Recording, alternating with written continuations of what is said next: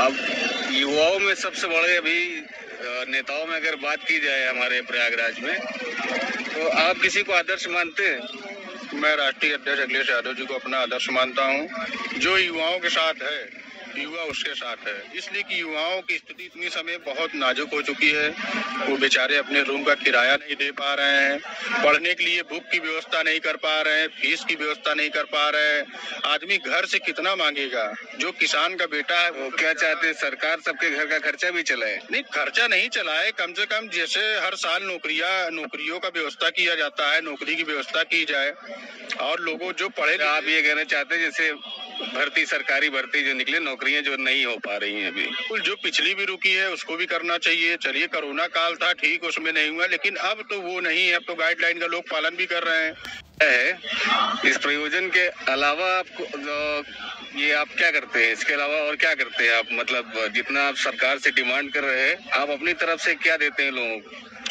हमारी एक संस्था है भैया जी की दाल भात हम लोग सभी अपनी एक टीम है, जिससे जो भी व्यवस्था हो सकता है, कोई दाल दे दिया, कोई चावल दे दिया, कोई तेल दे दिया, कोई आटा दे दिया, और बहुत अच्छे अच्छे लोग हम लोगों से जुड़े हैं, जो आस्था से जुड़े हैं, जो सनातन धर्म से जुड़े हैं, और यहाँ पे जो भी आता है, माँ काली की, माँ गंगा मैया बजरंग बाबा की कृपा है, जो यहाँ हमारे संस्था में आता है, उसको देख के खुद ही लगता है कि आप जो भी राशन बनवाते हैं, ये कब तक चलेगा ये जो आप यहाँ भंडारा करा रहे हैं, ये रोज होता है ना, रोज ही होता है ना आप कह रहे हैं। ये तो ये कब तक चलता रहेगा?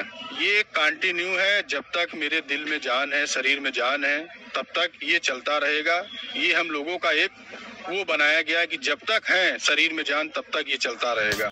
ट्रस्ट या कोई सरकार की तरफ़ से कोई और भी लाभ मिलता है जिससे आप ये सही से प्रयोजन कर पाए? नहीं, सरकार की तरफ़ से कोई लाभ नहीं मिल रहा है। ये बस एक आस्था के साथ जो लोग जुड़े हैं, वही लोग आते हैं। सरकार से कोई लेना देना नहीं है इसमें।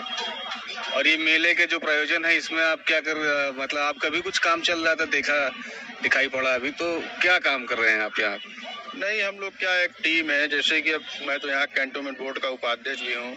और जैसे कि मेला के लिए ज़मीन हैंड ओवर हो जाती है मेला प्रशासन को।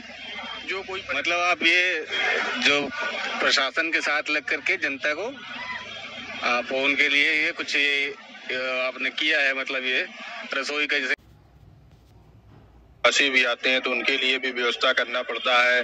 जैसे बहुत से लोग मतलब ये रैन बसेरा और ठहरने की जो व्यवस्था है वो आपकी ही है? अधिकारियों को भी गाइडलाइन दिया जाता है उसके लिए जानकारी भी उनको दिया जाता है कि महोदया जो है यहाँ पे देखभाल करें ये यात्री हैं बेचारे खाना तो प्रशासन आपका सहयोग कर रहा है? बिल्कुल बिल्कुल प्रशासन। तो ये लगातार से तीन बार पार्षद रहे सोनकर जी है जाने माने समाज सेवी जिन्होंने बहुत काम किया आइए आगे यहाँ यूपी इलेक्शन में कौन जीतने वाला है?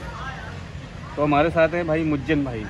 अब मुज्जन भाई बताएँगे कौन जीतेगा? बताइए भाई हम, हमारे हिसाब से तो जीतेंगे योगी जी। जी। हाँ उत्तर प्रदेश जीतेंगे? क्योंकि उनका काम अच्छा है फ्री राशन दे रहे हैं। आपको दे रहे हैं? सबको दे रहे हैं। भाई हम हमको नहीं दे रहे गरीब को दे रहे हैं। गरीब को दे रहे ही दे रहे हैं?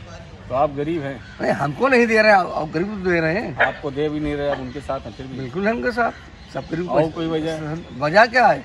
कोई गुंडाई खत्म हो गई। गुंडाई खत्म हो गई। और सब चीज़ खत्म हो गया।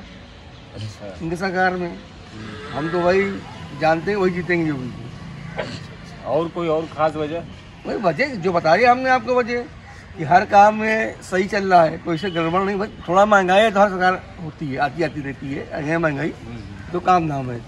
लेकिन उनका सिस्टम है कि गुंडाई खत्म हो गई ये अच्छी चीज़ है।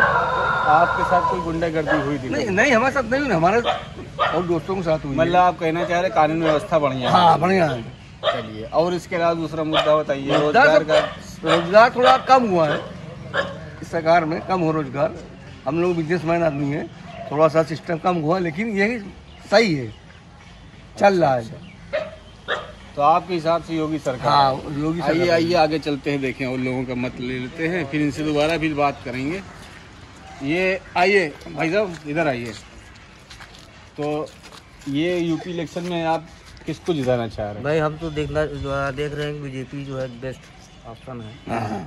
और क्यों बीजेपी बेस्ट लोगों का जो है विकास भी हो रहा है जनता का क्यों अखिलेश यादव कम विकास करके गए? नहीं उन्होंने कुछ किया ही नहीं। अच्छा। हाँ उन्होंने कुछ नहीं किया। और जो विदेश से पढ़ गए थे इसी आए थे। वैसे ही आए उन्होंने किया क्या? क्या किया बताइए। आज तक जो है जो बीजेपी ने जो है कर दिया सपा जो है सपा गवर्नमेंट में कभी नहीं हुआ। है ही।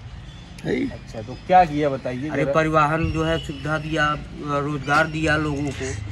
और जो है कोरोना काल में इतने लोगों को जो है फ्री राशन बांटा। ये मेन के चीज़ सपोर्टर लग रहे हैं आप इतना जो- जो राशन बांटा और लगातार दे ही रहे हैं। दे रहे हैं। दे रहे हैं लगातार दे रहे हैं। फिर भी ये ये तीसरा जो है कोरोना काल आया है। तो इसमें जनता को उन्होंने बहुत सपोर्ट किया है। अच्छा अच्छा तो आपके हिसाब से जो है बीजेपी बीजेपी, हाँ, योगी सरकार हाँ। आएगी। तो और विकास के मुद्दे पे क्या किया उन्होंने? विकास के मुद्दे पे बहुत काम किया। है इतना सब हर जगह जो है सड़क सड़कें बनवाई और आज तक जो है है? तो ये रहा प्रयागराज के लोगों का रिएक्शन ये वीडियो आपको कैसा लगा इसके कमेंट करके ज़रूर बताएँ। और लाइक शेयर सब्सक्राइब करें द मयूर एंटरटेनमेंट को। और ये जर्नी अभी भी कंटिन्यू रहेगी इलेक्शन और इलाहाबाद से रिलेटेड चीज़ें आपको लगातार मिलेंगी। धन्यवाद।